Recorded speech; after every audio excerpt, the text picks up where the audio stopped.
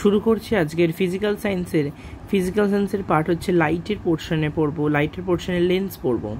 এই লেন্সের পার্টের মধ্যে আমরা দুটো জিনিস পড়ব, একটা হচ্ছে কনকেভ লেন্স একটা কনভেক্স লেন্স ঠিক আছে? তার মধ্যে কনভেক্স লেন্সটা আমরা আগে পড়ে নিয়েছি কীরকম দেখতে কনভেক্স লেন্সটা ঠিক এরকম মতো দেখতে ছিল, ঠিক আছে? এখন যেটা পড়ব সেটা হচ্ছে কনকেভ লেন্স কনকেভ লেন্সটা ঠিক এইরকম, ঠিক আছে? এটা হচ্ছে কনকেভ লেন্স এখন যেটা পড়ব পেজ নাম্বার ফিফটিতে রয়েছে, দেখ, লেখা আছে formation of virtual and erect image by concave lens এই লেন্সটা দিয়ে আমি কি করে ভার্চুয়াল ইরেক্ট ইমেজ বানাবো, সেটা আমরা এখন পড়ব। দেখ, কি করে বলছে? বলছে if an extended object is placed on the principal axis of a concave lens the ray of P O দেখ, আমরা এরকম একটা পিকচার নিয়েছি পিকচারটাকে ড্র করা হয়েছে এরকম করে, ঠিক আছে? দেখ, এরমভাবে লাইটটা গেছে। দেখ পিও এইখানে আমি অবজেক্টটাকে বসিয়েছি, এটা হচ্ছে আমার ফোকাস যদি এখান থেকে একটা লাইট যাচ্ছে, আমাদের মাঝখান দিয়ে অলরেডি এটা প্রিন্সিপাল অ্যাক্সিস করা আছে জাস্ট লাইটটা এরমভাবে যাবে। নিয়ে এটা এখান থেকে গিয়ে এরমভাবে ইরেক্ট হয়ে যাচ্ছে, ঠিক আছে? আর একটা লাইট এসে কী করছে? ডাইরেক্ট এটা দিয়ে এসে, সে কী করছে? এরমভাবে ডিভাইড হয়ে যাচ্ছে, ঠিক আছে? এখানে কি হচ্ছে? এই যে লাইটটা এসে দেখে মনে হচ্ছে যেন এইখান থেকে আসছে। তাহলে এইখানে একটা পেজে এখানে এইটুকুনি পার্টটাতে একটা ফরমেশন তৈরি হচ্ছে। মানে এটা ধর ছিল হচ্ছে পি কিউ তো, এটা হয়ে যাচ্ছে তাহলে পি স্মল কিউ ঠিক আছে? এটা small P by small Q এটা হচ্ছে এফ এখানে ফোকাস হচ্ছে। ভালো করে দেখে নে পিকচারটা ঠিক আছে? আর ওটা হচ্ছে এই লেন্সের যে মিড পয়েন্ট সেটা। ওই জন্য বলছে আফটার রিফ্র্যাকশনের পর দেখে মনে হচ্ছে যেন এফ থেকে লাইটটা আসছে। ওই জন্য দেখ, এই লাইটটা যেটা এখানে ডাইভার্জ হয়ে যাচ্ছে না, দেখে মনে হচ্ছে এইখান থেকে আসছে।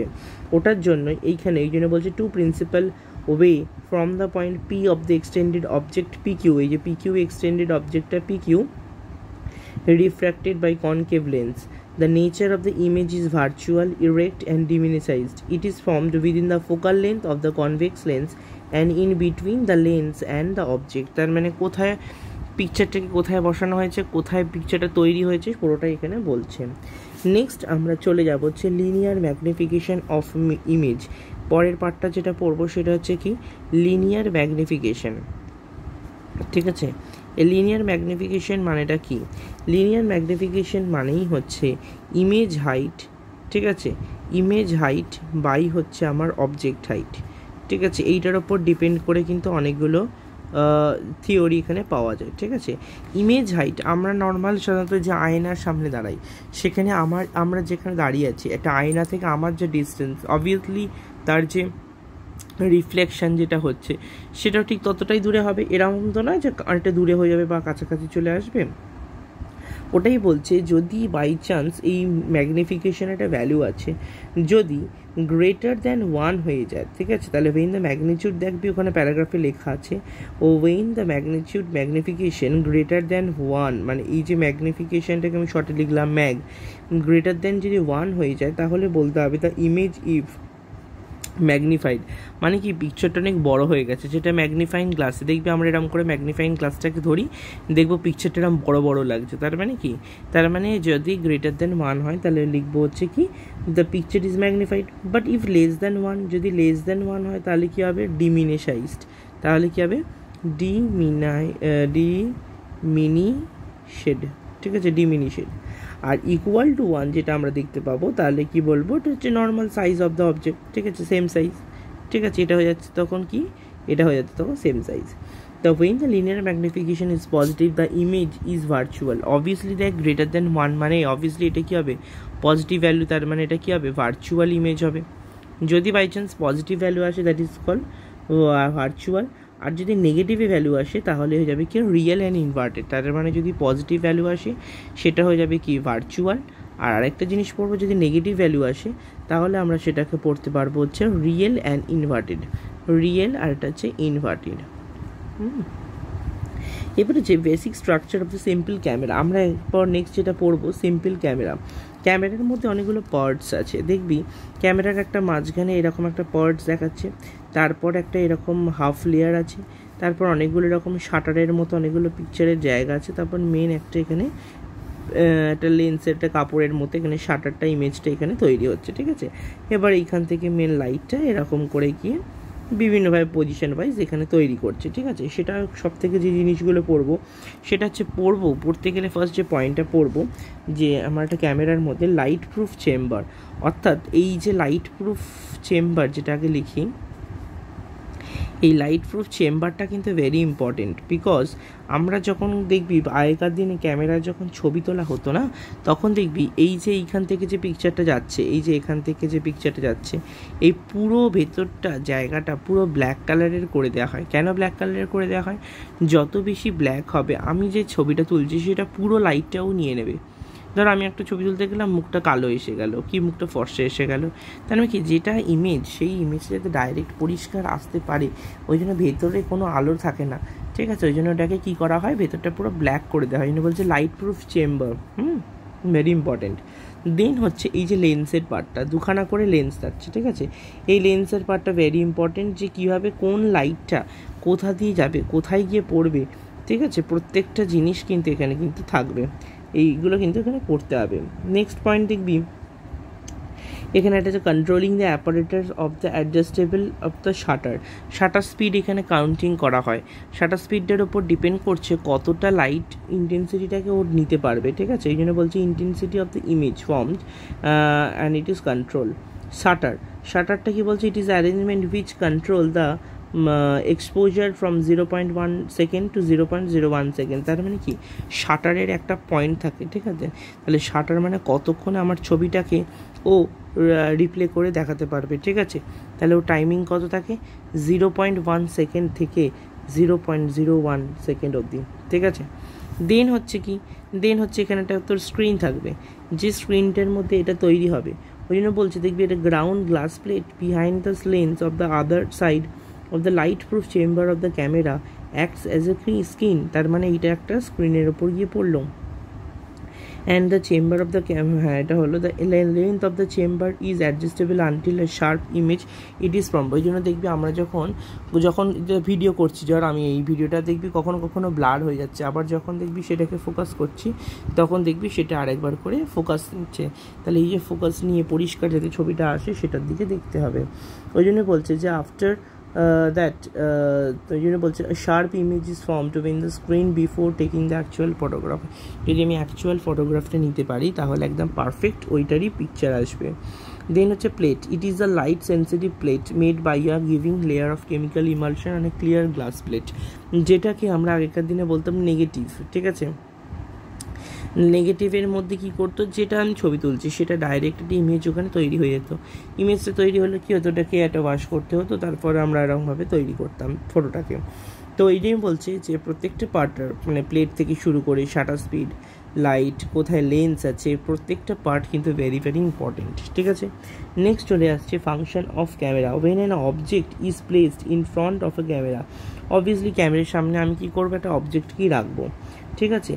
and uh, it is image to be formed on the screen by adjusting the length of the light-proof chamber and to fall on the plate for a short period depending on the relative apparatus of the mm, uh, of the fixed uh, sorry of the intensity of light. Light from the object falling on the plate produces chemical uh, dark room. When distinct images formed washing the plate and negative এইভাবে বলছে, প্রত্যেকটা প্লেটকে আগেকার দিনে কী করা হতো? এরমভাবে ধোয়া হতো। ধুয়ে আবার এরমভাবে একটা রিফ্লেকশন এলো। আবার সেটাকে ধুয়ে আবার এরমভাবে রাখা হতো। এরভাবে image is come out after washing the photo in the water after that it is dipped in the hypo solution to get a negative of the photo তারপর আস্তে আস্তে কী হলো? আগে তখনকার দিন ছবি তোলা হতো, ছবি তোলে কী করতো? এটাকে ধুয়ে নিত। বেশ ওয়াশ করলে হয়ে যেত। কিন্তু এরভাবে বলছে যে ছবি ধোয়ার পর আবার পরে যদি আমার ছবিটা লাগবে তাহলে তখন কী করব? তখন এসে ওরা কী করল? বলল যে dip in the hypo solution ওরা একটা সলিউশন বানালো। সেই সলিউশনটা বানানোর পর ওইখানে ইমেজটা একটা নেগেটিভ হয়ে গেল। জন্য দেখবে লেখা আছে negative and after emerging it is developer final photograph is prepare তারপর আস্তে আস্তে কী করল? ফাইনাল ফটোগ্রাফটা তৈরি করল।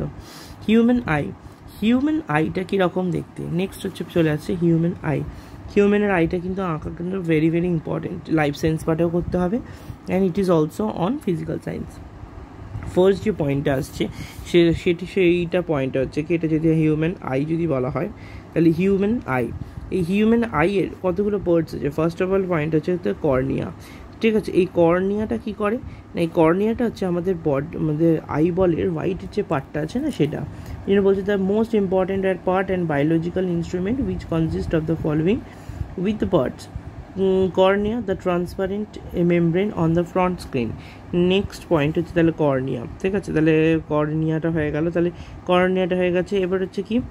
যে first portion of the membrane and the ball which is light enter the eye is called cornea. ঠিক আছে? দ্য তারপর নেক্সট পয়েন্ট হচ্ছে স্ক্লোয়েরা S C L E R স্ক্লোরা স্ক্লোরাটা কী বলছে? The tough and aqueous with cover which protect the eye ball আমাদের এই যে আই বলটা রয়েছে না তোরা যদি ভালো করে দেখিস আই বলটার চারদিকে একটা কোটিং করা আছে that is call sclera hmm? এই স্ক্রেরাটা কিন্তু ওকে হেল্প করছে।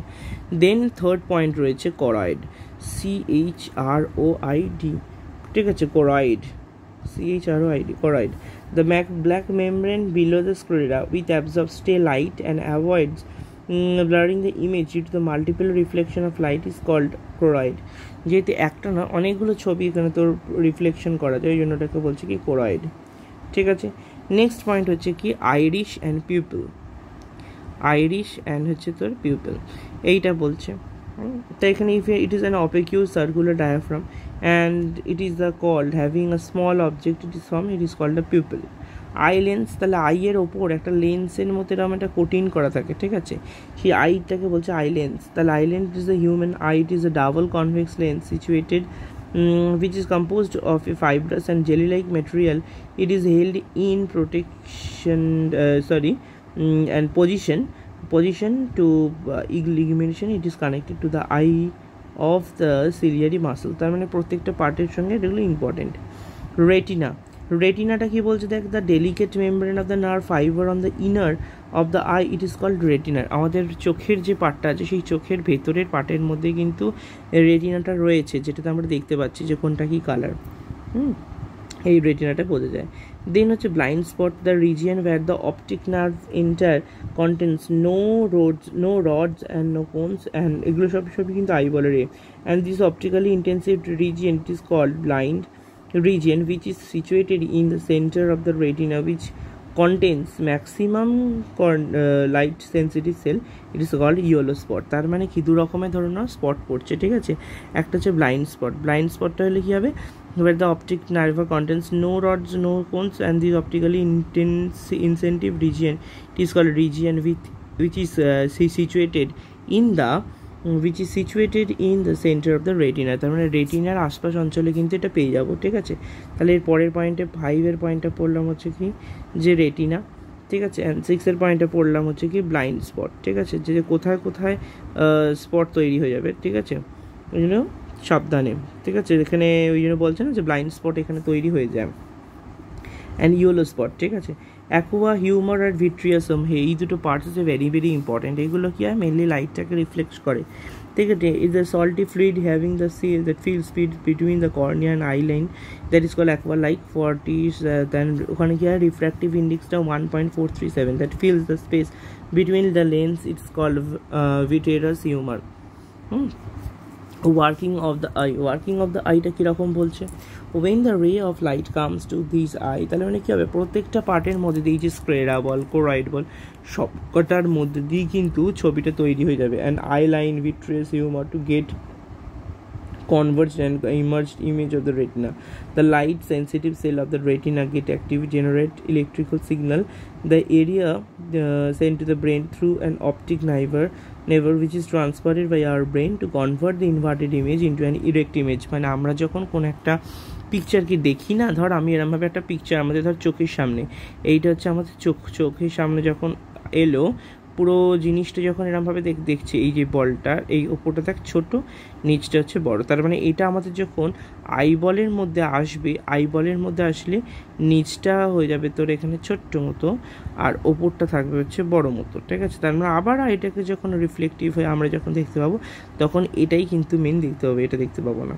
ওই জন্য বলছি যে এটা aqua solution to the retina the light sensitive Mm, the light sensitive cells at retina get activated generated electrical signal that are sent to the brain uh, through the optic nerve which is translated by our brain to convert the inverted image into an erect image এই জায়গাটাকে আরেকবার করে দেখে নিল ঠিক আছে তাহলে হচ্ছে কনভার্জ ইমেন্ট ডিউরিং ইমার্জ ইমেজ আচ্ছা এবার যে ক্যামেরার সাথে হিউম্যান আই অনেকগুলো ডিফারেন্স অবভিয়াসলি বুঝতেই পারছিস এগুলো করা যায় ঠিক আছে আচ্ছা তো ক্যামেরার সঙ্গে হিউম্যান আইয়ের যে রিলেশনগুলো আছে না, সেখানে মধ্যে সব থেকে দুটো কি তিন চারটে করে রাখবি। অবশ্যই পাঁচটাই দিয়েছে। লাস্ট তিনটে করবি সব থেকে সুবিধা হবে diaphragm in camera diaphragm aperture of the lens কোনটা কীরকম লেন্সের কোনটা কী আছে সেটা পড়িয়ে দিচ্ছে। তো এটা কিন্তু ভেরি ইম্পর্টেন্ট ঠিক আছে? তাহলে প্রত্যেকটা part cornea sclera choroid iris pupil retina blind spot and yellow spot প্রত্যেকটা পয়েন্ট কিন্তু খুবই ইম্পর্টেন্ট ঠিক আছে? এই সবটা একো দেখে নিবি। এই পর্যন্তই হচ্ছে আজকের আমাদের ফিজিক্যাল সায়েন্স পড়া।